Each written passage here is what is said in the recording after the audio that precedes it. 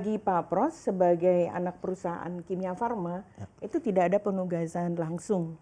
Hmm, okay. Bagi kami tidak ada penugasan langsung. Jadi kami melihatnya itu dari aspek semata-mata adalah dari sisi bisnis. Bisnis. Hmm. Iya. Kebetulan uh, kami juga di tahun 2019 ini uh, berhasil mengekspor obat TB ke Peru. Hmm. Jadi hmm. Uh, sampai sejauh ini kami berhasil melakukan ekspor ke dua benua benua Asia dan benua Amerika. Oke. Okay. Ya. Seberapa besar itu kontribusinya Bu untuk pendapatan Pak Pros uh, kalau dari kalau kita review kinerja sepanjang 2019 ini Bu? Di 2019 itu masih di bawah uh, 5 persen. Mm -hmm. Dan nanti kita akan tingkatkan terus dari tahun ke tahun. Mm -hmm. ya. Oke, kalau kita review Bu, ini kan juga uh, terkait mengenai laba, laba bersihnya sendiri kan juga masih agak cukup uh, tertekan ya Bu ya, hmm. ya sampai dengan kuartal 3 2019. Hmm. Ini banyak hal karena ada beberapa tender dari pemerintah juga hmm. yang ditahan hmm. gitu ya, plus juga ada penurunan permintaan khususnya untuk di obat generik dan lain-lain. Nah ini seperti apa sih Bu uh, target dikejar gitu ya sampai dengan 2019 akhir ini yang tinggal beberapa minggu ini untuk apa Pros Bu? Iya, sampai sejauh ini kita tetap uh, berusaha dan ingin uh, bisa mempertahankan prestasi kita untuk uh, sustainable growth ya, untuk double digit baik itu dari sisi revenue maupun dari sisi net profit margin. Mm -hmm.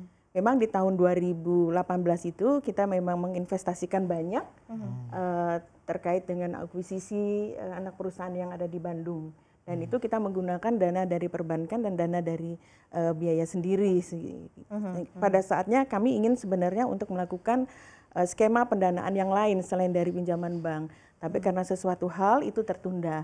Hmm. Itu yang membuat so, right issue ya Bu ya kemarin. Ya, ya itu yang membuat beban uh, keuangan kami di tahun 2019 ini hmm. uh, agak terganggu. Tetapi hmm. uh, nanti kita akan bisa atasi insya Allah di akhir tahun 2019 hmm. dengan juga membaiknya uh, permintaan dari uh, masyarakat ya terkait dengan pendanaan atau belanja pemerintah gitu yang memang hmm. pada hmm. umumnya itu akan ada di kisaran Q4 di hmm, akhir-akhir okay. tahun 2000 uh, eh, akhir tahun gitu. Hmm, itu untuk right issue berarti hanya ditunda saja ya, Bu ya? ya? Itu akan dilaksanakan kira-kira di awal tahun 2020 Betul, atau di okay, tahun di 2020 paling cepat ya di akhir tahun 2019 ini di akhir hmm. tahun yang tinggal beberapa hari ini dan kita tetap berusaha base effort ya untuk hmm. Hmm. Uh, menjalankan aturan-aturan izin-izin itu sesuai good corporate governance Uh, kemudian nanti kalau yang mungkin ya awal dari Januari. Hmm. Untuk tender-tender pemerintah yang masih ditahan ini apakah juga akan uh, berjalan juga di 2020 apakah di akhir tahun ini Bu Barokah? Uh, ini ada perpanjangan hmm. untuk kebutuhan dari pemerintah sampai dengan Maret. Oh oke. Okay. Uh, sampai dengan Maret 2020. Jadi sebenarnya itu tidak ada satu hal yang kritikal. Kita bisa cari uh, pendapatan dari pilar produk yang lain.